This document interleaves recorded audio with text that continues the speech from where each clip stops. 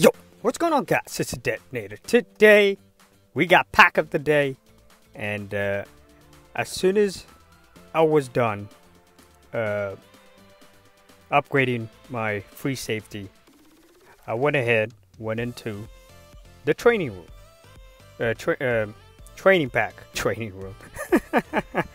anyway, I went to training pack, and uh, you know to see my luck but uh, I, they always always welcome me with 90 or you know 88 most of the time. But hey all i'm gonna say is i got blessed on the first pack and we ended up getting Stefon Diggs the first try.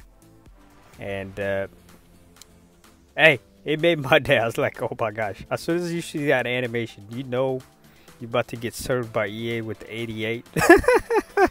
Don't you hate it? I wish they changed those animation, but we did get Stefon Diggs. Apparently, he is pretty expensive.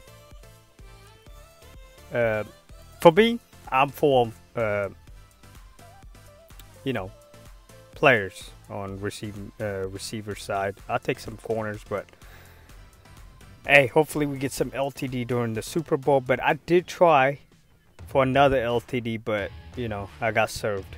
90. 90's not bad. You guys know that.